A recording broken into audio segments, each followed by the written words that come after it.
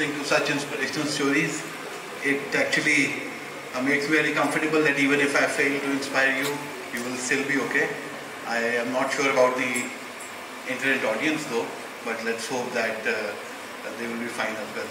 So briefly, uh, they've already introduced me. I'll just tell that uh, I graduated from LUMS in 2006, was a finance major, worked uh, in a hedge fund, then worked in New York, and uh, started up for a few years. I uh, was involved in a startup as well, co-founded a firm that became actually successful. But then I think the curiosity and the inspirational part was not uh, complete. So I joined the civil services of Pakistan in Pakistan Administrative Service, and it's almost nine years now. And uh, I, I, wanted to tell you all about. It's actually very interesting because I did not know that it is TEDx, and uh, I was told last night that you have to go here and. Uh, you know, in government we go to various institutions and deliver speeches. So I thought that it's going to be a normal speech where either there would be students or, you know, there would be some other stakeholders there. But only two, three hours back I found out that this is actually real TEDx. And uh, during that a friend of mine called me and he asked me that where you are going. And I told him it's, it's a TEDx event. And uh, so he told me that I was telling him about the topic that is about waste management. And only then I figured out that, and I realized that he told me that I have to tell my own personal inspirational stories if I have to be successful. But uh, but I think it, it, was very it was very interesting that uh, then I started thinking that you know I'm now working in waste management. How do I make it more inspirational? How do I inspire people by waste? But uh, I have few stories, so I'll, I'll, just tell them. Hopefully, they will inspire you. So, uh, I, I think in the in the government service, if we look at the whole society, or if we look at the foundations of the knowledge, this all is built upon upon curiosity, upon innovation. The foundations of innovation are all uh, our, our ability to learn, our ability to uh, progress, and all these things uh, globally, if, if we look at the earlier centuries, it was just about, you know, who, it was about the survival of the fittest and, you know, man in humans who had the best food and then it became the capital and then every, the progress and the development was centered about, around the capital part. But this century, if we come to this century, it's a very different story and everything, the whole progress is related to innovation, it's related to the knowledge economy, it's related to how the nation and how the youth and how the people in the nation are progressing, acquiring knowledge and trying to differentiate themselves as well. But if, uh, so when, when I discuss with my friends the challenges of Pakistan, I think all my friends know that I always keep saying that there are around 100 million to 140 million people in Pakistan, depending on what age bracket you choose, who need to be inspired and who need to acquire some kind of skill so that they become positive uh, human resource for, for this country as well. So it's uh, uh, in, in, in that in that part we, we uh, you know I think stories from all aspects of, of Pakistan are very important that we tell our youth that how they can become successful in life, how they can acquire the right kind of skill as well.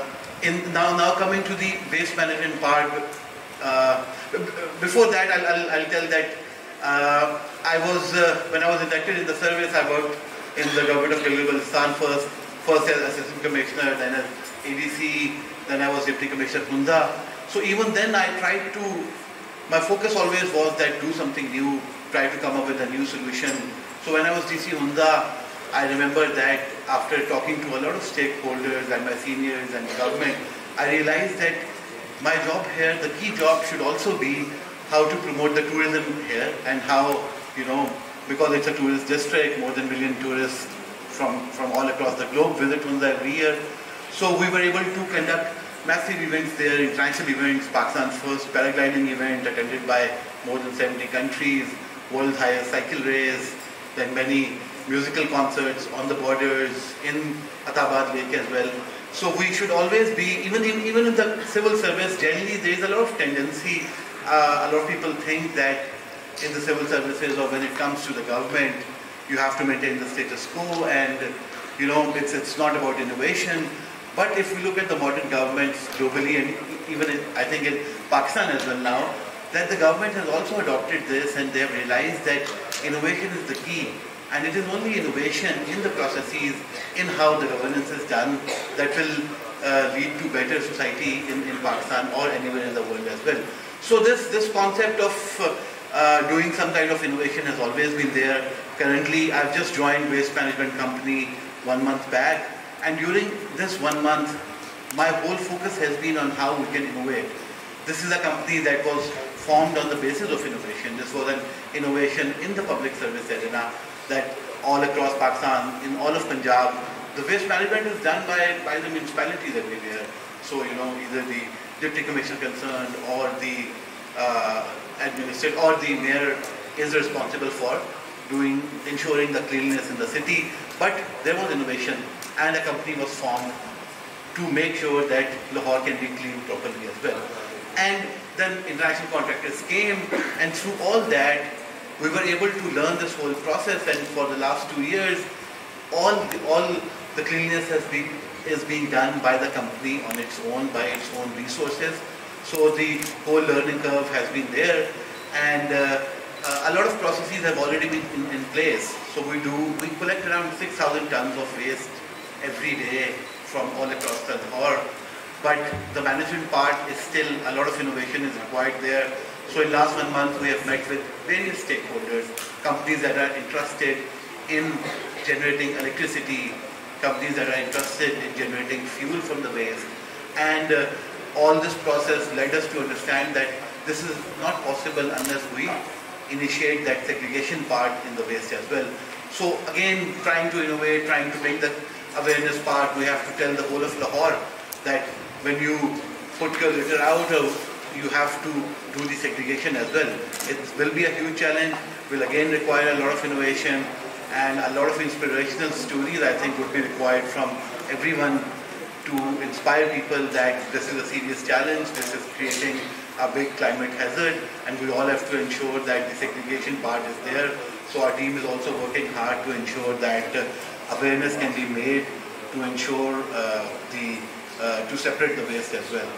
So uh, hopefully, you know, uh, in, uh, in in next in some next event, we will be able to uh, tell you that whether we have been able to successfully innovate in in our processes or not. But uh, other than that, even innovation to an extent that uh, in, in in our company we have around 1,200 vehicles. So just to the extent that we are we are we have reached a stage that we are now applying artificial intelligence in optimizing the routes of the vehicles as well. So the vehicles are currently run on a pretty much fixed system, few are random as well. And uh, but now we are involving consultants. Data management is being done to ensure that uh, the route optimization is done. And initial estimates tell us that hundreds of thousands of liters of fuel annually could be saved from this. So all these uh, are still under process, and uh, hopefully the next time we meet, we'll be able to share with you how uh, we have been able to successfully or innovate or we have, uh, you know, what are the things that we still lack. So till then, uh, best of luck to everyone. Thank you very much.